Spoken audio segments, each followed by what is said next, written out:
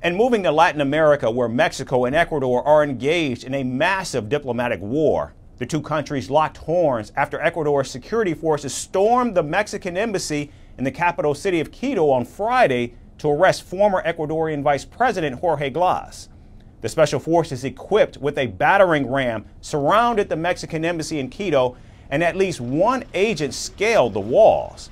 Now, a raid on the diplomatic premises is unheard of, and as, as they are considered inviolable ter- sovereign territory.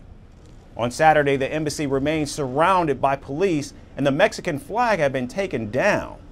To be clear, under international law, invading an embassy is tantamount to invading another country. The Vienna Convention states that a country cannot intrude upon an embassy or its territory. Now, Mexico has severed ties with Ecuador after the incident and also pulled out all diplomatic personnel from Ecuador. Mexico is also taking Ecuador to the International Court of Justice. It was something unheard of. Something like this had not happened in the history of Mexico or in the recent history of Latin America. Not even in the worst times of dictatorships, not even dictator Pinochet dared to violate Mexico's embassy in Chile. This is unheard of. I think Ecuadorian President Noboa made a mistake by taking a decision that did not just break with all established international conventions, but it also showed ignorance of the reality of his country. Now, Mexican President Andre Manuel Lopez Obrador said that the raid was a flagrant violation of international law and the sovereignty of Mexico. The raid comes hours after Mexico granted political asylum to former Ecuadorian Vice President Jorge Glas, who had been sheltering at the Mexican embassy in Quito since December. Ecuador had issued an arrest warrant against him for alleged corruption.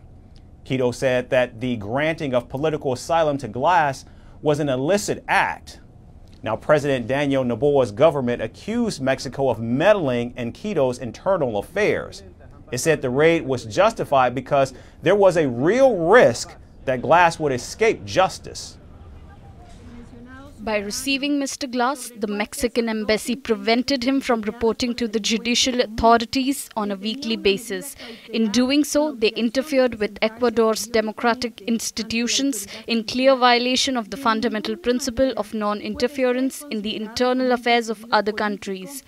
On February 29, 2024, the Ministry of Foreign Affairs asked the Mexican embassy on the basis of Article 22 of the Vienna Convention on Diplomatic Relations for authorization from the Mexican ambassador so that the police could comply with the arrest warrant issued by the National Court. It was refused.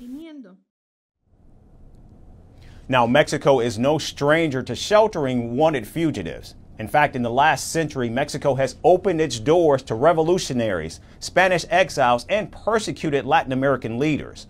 Russian revolutionary Leon Trotsky, who was expelled from the Soviet Union by Joseph Stalin, sought refuge in Mexico.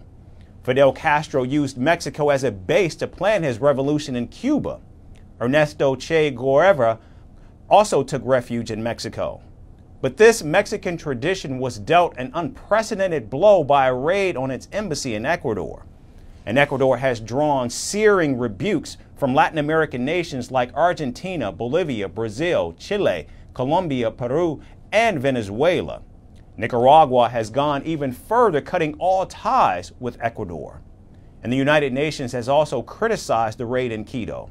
The United States has urged Mexico and Ecuador to resolve their differences in accordance with international norms.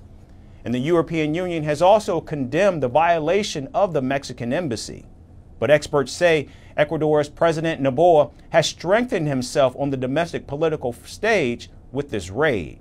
President Noboa has portrayed the action as a part of his fight against runaway graft. His government has shown former Vice President Glas as a symbol of corruption in Ecuador. Later this month, Noboa's government is also holding a referendum on whether to take tougher measures against crime.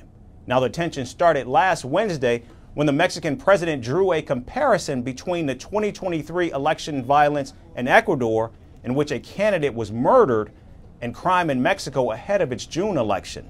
The Mexican leader alleged that violence and manipulation caused the rise of President Noboa in Ecuador. And Ecuador had slammed Mexico's remarks, calling them offensive. Rising tensions between Ecuador and Mexico could lead to the risk of instability in the entire region.